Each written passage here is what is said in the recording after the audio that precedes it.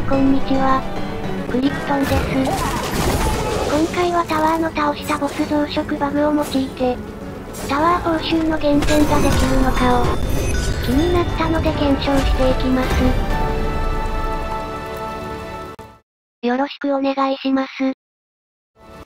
報酬の画面になりました。この状態だとキャンプに戻れるので、クリアせずに報酬を除くことが可能なのです。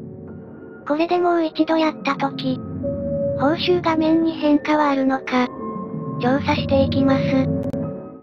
SNS のフォローは概要欄へ。またやってきました。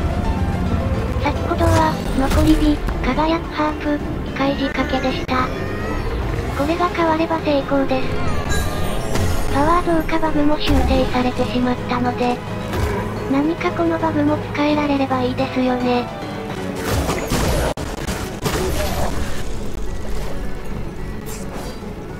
よし。変わってくれ。